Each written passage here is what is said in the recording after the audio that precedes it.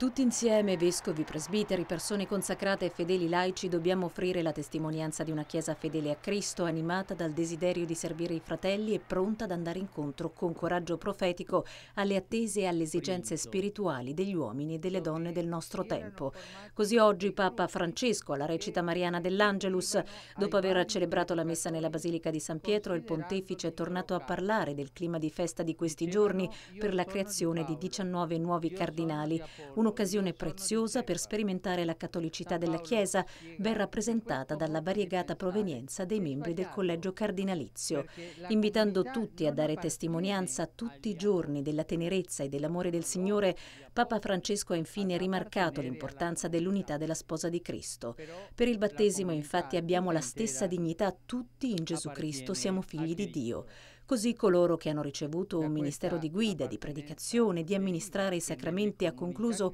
non devono ritenersi proprietari di poteri speciali, ma porsi al servizio della comunità, aiutandola a percorrere con gioia il cammino della santità.